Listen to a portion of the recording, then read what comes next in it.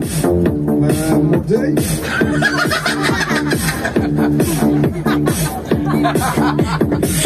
khi kim giờ chỉ giữa số 1 và số 2 thì là mấy giờ hả cả nhà ơi hả chính xác 12 giờ.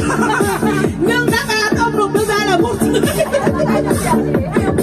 không là bốn chục 50 nghìn, chú 50 nghìn Đây đại gia đây à phó giám đốc ngân hàng tìm cô ngân hàng trả lời số. Mà cái quân ờ, câu của chị Khánh nhà mình này phó giám đốc ngân hàng thì phải cho nó thật là dễ thôi, đúng không ạ? Câu hỏi của chị Khánh được đưa ra như sau. Một cộng một thì bằng hai.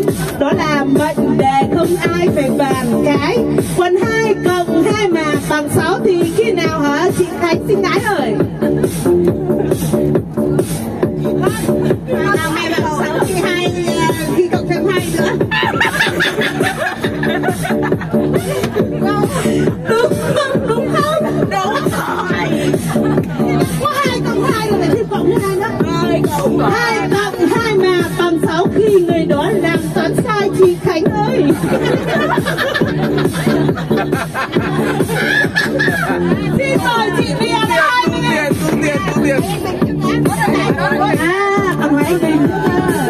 nữa Câu hỏi của anh Bình được tính như sau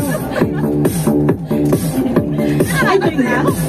Câu này uh, xin các con nhá. Một con đại học, một con vào cấp 3 chuẩn bị hỗ trợ bố này.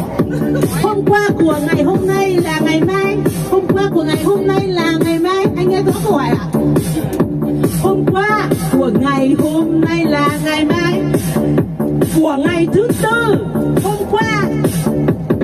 anh hiểu nhá. Hôm qua của hôm qua của ngày hôm nay là ngày mai của ngày thứ tư. Hôm qua của ngày thứ tư là ngày kia của ngày thứ sáu hỏi hôm nay là ngày thứ mấy? Tiếp đâu thứ mấy? Nghe lại này câu hỏi này? Hôm nay là ngày hôm nay.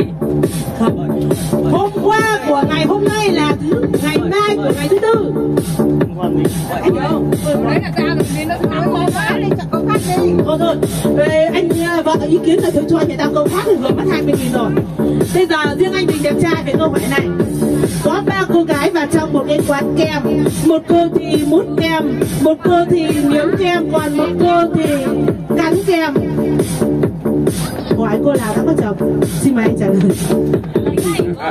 Cô mút kem